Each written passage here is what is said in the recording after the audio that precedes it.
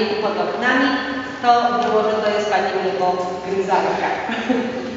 Nie? Także Dla mnie, dla mnie z tej listy myślę, że to ostatnie nazwisko jest najcięższe do, do zaczynania. Tak. I ten Enge, Enge,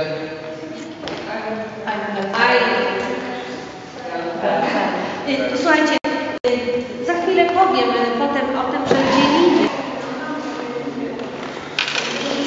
A jakie w poznajemy, to nie zawsze dotykamy daną osobę, ale na przykład y, jak ktoś ma takie czoło yy, jak Julka, to możemy tak może być e, jest takie piasek, tak? Tak, jest, jest.